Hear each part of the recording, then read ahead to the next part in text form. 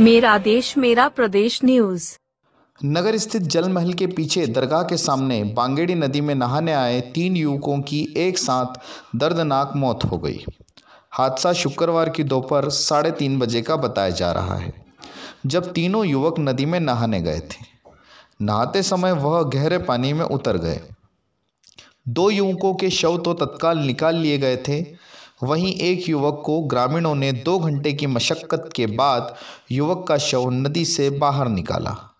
घटना की जानकारी लगते ही परिजनों में मातम पसर गया था।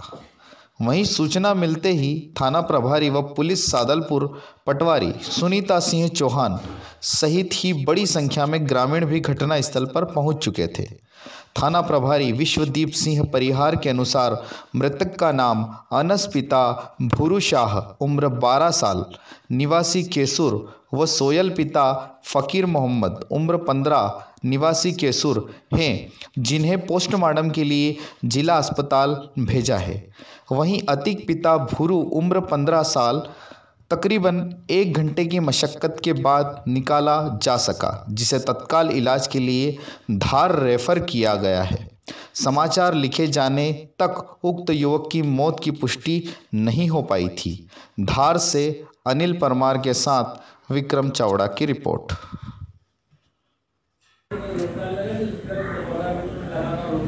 सर, आज बागेड़ी नदी में डूबने से बच्चों की मौत हुई है। क्या है घटनाक्रम पूरा?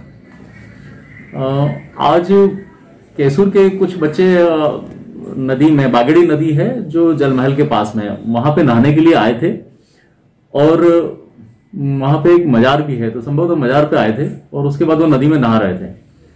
तो उसमें से तीन बच्चे डूब गए और उनमें से एक को जो है, उसको निकाला, उसकी सांस चल रही थी, उसको तुरंत 108 मोबाइल से धार हॉस्पिटल रवाना किया गया है। जो बच्चे डूबे हैं, उनमें अनस सनाफ भूरू और अतिक सनाफ भूरू। और तीसरा सोयल है। और सोयल सनाफ शेरू। ये लोग तीनों ही बच्चे कैसूर के रहने वाले हैं। और ये नहाते समय गहरे पानी में जाने से डूब गए हैं। और इनको हॉस्पिटल धार भेजा गया है। दो बच्चों की तो मृत्यु हो चुकी है। दो बच्चे शुरू में जल्दी निकाल दिए गए थे, लेकिन अतीक को बाद में निकाला गया।